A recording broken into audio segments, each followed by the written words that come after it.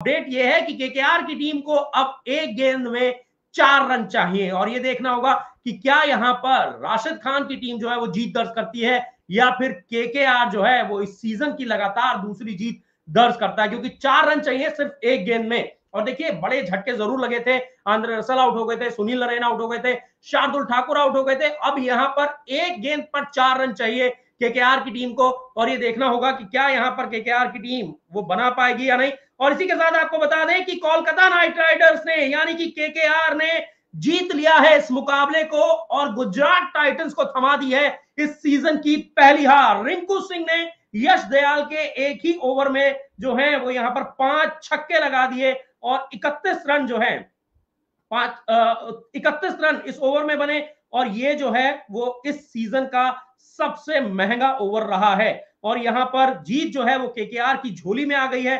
रिंकू सिंह जीत के हीरो रहे, जिन्होंने 21 गेंदों में 48 रन बनाए, और ऐसा लग रहा था कि केकेआर की टीम यहाँ पर नहीं जीत पाएगी, और मुकाबला जो है, वो केकेआर ने जीत लिया है। भले ही राशिद खान ने आईपीएल 2023 की पहली हैट्रिक ली हो, लेकिन मेला यहाँ पर लूट के ले गए हैं रिंकू सिंह। जिस तरीके से उन्होंने यहाँ पर आखिरी ओवर में दमदार प्रदर्शन किया पाँच छक्के लगाए और अपनी टीम को जीत दिला दी। बेहतरीन पारी खेली है रिंकू सिंह ने और गुजरात टाइटंस की टीम ने इस सीज़न की लगातार दूसरी जीत दर्ज कर लिया और देखिए, जब राशिद खान ने जिस तरीके से आंध्र रसल को आउट किया था, इससे उसके बाद उन्होंने सुनील नरेन को आउट किया था और फिर इसके बाद उन्होंने शार्दुल ठाकुर को आउट कर दिया था।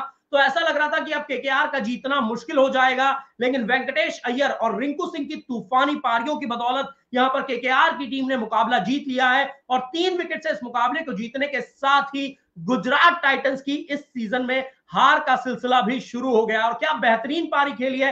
देखिए, आपको आखिरी ओवर की बात बताएँ तो आखिरी ओवर में अगर आप देखें तो जीत के लिए चाहिए थे उनतीस रन। छह गेंदों में उनतीस रन चाहिए थे जीत के लिए यहाँ पर केकेआर की टीम को। और पहली गेंद में अगर हम देखें तो उमेश यादव ने एक रन लिया।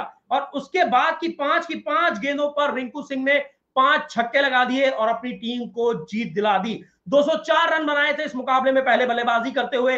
गुजरात टाइटंस की टीम ने और उन सभी को पीछे छोड़ते हुए 207 रन बना लिए यहाँ पर केकेआर की टीम ने और इस मुकाबले को जीत लिया। और देखिए, इस मुकाबले में जीत के हीरो तो रिंकू सिंह ही रहेंगे, जिस तरीके से उन्होंने आखिरी ओवर में बैक टू बैक पाँच छक्के लगाए और एक ऐसे मैच में जहाँ पर ऐसा लग रहा था कि अब जीत मुश्किल हो गई है, वहाँ पर रिंकू सिंह ने सिर्फ़ 21 गेंदों में 48 रन बना दिए, जिसमें से उन्होंने 30 रन तो सिर्फ़ पाँच गेंदों में बनाए और अपनी टीम को मुकाबला जिता दिया।